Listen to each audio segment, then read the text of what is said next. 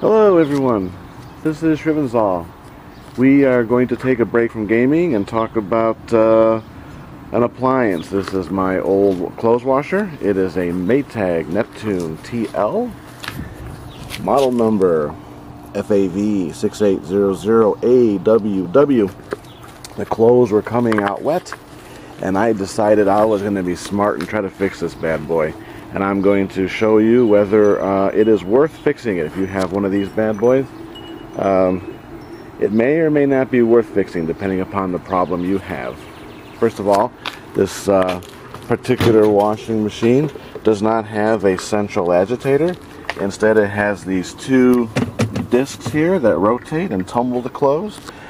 Uh, my problem was at the bottom there, the clothes would be all wet and there'd be standing water in the basin. So, let's just uh, try to decide for you uh, what the actual problem is. First of all, you're going to have to get off this front panel here. To do that, you're going to need to slip something thin into these corners here. One here and one over here, preferably plastic, because uh, metal might scratch your uh, finish here.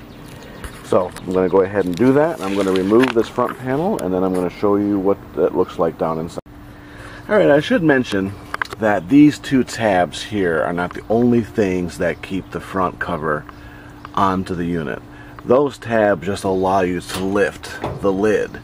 Then you're going to have to undo two screws, one in each corner. Then that front panel will come right out. Now the easiest way to tell what your problem is is to run a load and to watch what's going on inside. Now, a lot of websites are going to tell you that if your clothes are coming out wet, the problem is your water pump, which is that guy right there. That is your water pump. If you do a load of laundry and it is your water pump, you will see that when it engages, the water level will not drop in your unit.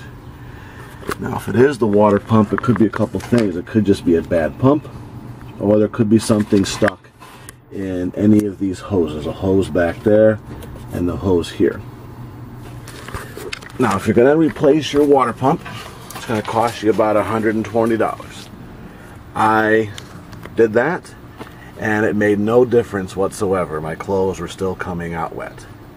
So, it was not my water pump. After further investigation, I found out that on this particular unit, it's not here right now, but down in here, there's a big wheel that engages the motor. This is your motor here. There is usually a belt that goes from here to that wheel. Okay, here's the wheel that normally sits up underneath that basin. It goes all the way up underneath there and the belt engages around here and then comes up and goes on your motor pin down here. Now how these uh, washing machines work is when this motor here spins one direction it'll turn this wheel a certain direction it'll turn the wheel a certain direction and that will cause your two agitating discs inside the basin to turn and tumble your clothes. When the motor reverses direction, these this one-way bearing will engage, this one-way bearing in here will engage. The internal disc will stop spinning and what will spin is the internal drum inside here. That drum is what spins and causes the water to come out of your clothes and go down into the drain here. You will know even without taking this guy off, if you're, I mean, if this is the problem right here, you'll know because even though this plastic drum here is more or less opaque, you will be able to see your drum inside there spinning. It'll be so obvious. It'll look like this thing is about to ready, get ready to launch itself into outer space.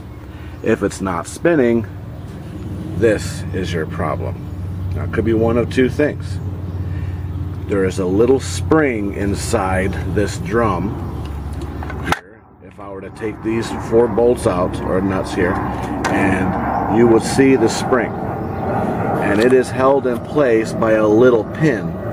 My pin broke, which is why this housing right here is broken. If it's only that pin, if you replace this part, which will cost you about $180, you probably will have this thing fixed. However, if you see rust here, don't even bother to fix your washer. The reason this is rusting is because the gasket that's under there that keeps the water inside the internal drum and the outside world to keep those two things separated, it is leaking. And it is causing this one-way bearing to rust. When this thing is new, all the, this entire metal assembly here is all nice and fresh. But once this thing rusts, those bearings are not going to spin. It's going to jam, it's going to break off that pin, and you're done. Now, I spent $180 on this piece. I spent $120 on my water pump. And when I finally decided to just trash this thing, we went out to Home Depot and we bought a new clothes washer for like $400. Why even bother to fix this bad boy? Well, anyway, I hope this uh, video helps. It's probably not the best video in the world, but uh, hopefully it'll help somebody who's trying to fix this unit. And to realize that when you have wet, wet clothes, it probably is not your water pump. It may be. I wish for you that it is. Uh, hopefully there's just a sock down inside that tube. You take out those tubes, you take out the sock, and you're back in business. It could be your water pump is truly dead, in which case $120 for a water pump, and again, you're back in business. If this guy is dead, don't even bother.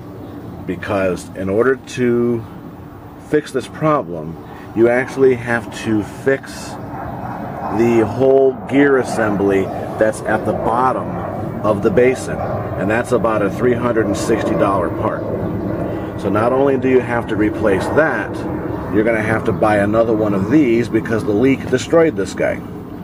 So you're talking $400, $500 just to get this thing back to the way it was. And considering this model is about 15 years old, eh, why bother? Anyway, this is Shrivy. Your mileage may vary as far as you're working on this particular unit, but uh, hopefully this video, as bad as it is, will have been uh, somewhat helpful to those who uh, were unfortunate to buy one of these uh, model of clothes washers. Anyway, take care guys.